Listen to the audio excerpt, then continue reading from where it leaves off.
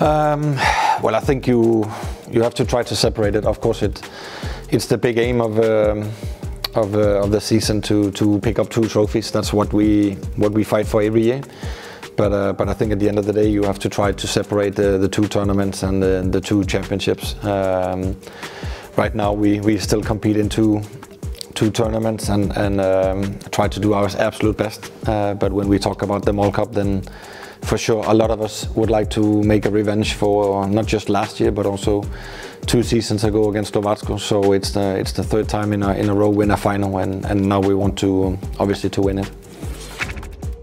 No, not really, not really. Um, it's new game and it's it's a it's a final. It's a it's we know it's it's always a different game when it's a final. A lot of uh, things are at stake and um, emotions are quite high. Everybody wants to win, obviously. So I think it, it comes down to the team that are able to to keep the emotions uh, inside and, and stay focused on the game plan and on the things that you have to do. And and then I know that we uh, were a strong team and we got enough quality to to win the final. But um, it's going to be a, a tight game for sure. Very much. Uh, I love finals. Uh, it's an amazing atmosphere uh, before the game, leading up to the game for sure. Um, so, so it, it's going to be an amazing game. Um, good stadium as well in, in Pilsen with a lot of fans from, from both sides. So, cup finals for me are special, and, and like the rest of the, the club, and then I also look forward to it for sure.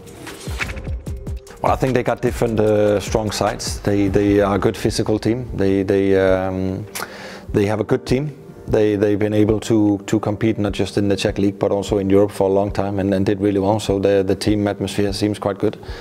Um, physical power for sure. The set pieces are strong.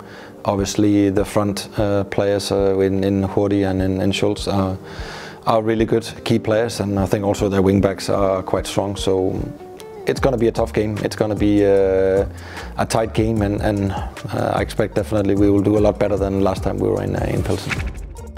Yeah, I, I, think we have a lot of good, strong sides. Um, we had a good, good uh, season so far. We played some really, really good games, and uh, and also now just this weekend in, in Slovácko, I think we showed what we're capable of. We, um, I agree with Krejčí. We, we have a good mentality in the in the team. We have a good discipline in the team. We have a good uh, team spirit uh, in in general, uh, and then we got individual quality on almost uh, all positions on the on the pitch. Um, and we got not just 11 players, but we got uh, 25 players, uh, 26 players in, in the squad that can compete. Um, and, and that's important also that you got players from the bench ready to, to contribute and, and maybe to, um, to be decisive also. At the end of the day, it, it all comes down to the players. That's, uh, that's the most important thing. Um, we, we in the staff, we try to we try to prepare the players for, for everything that they can expect, and then they have to do the dirty job. And uh, I'm proud to be to be in, in front of them.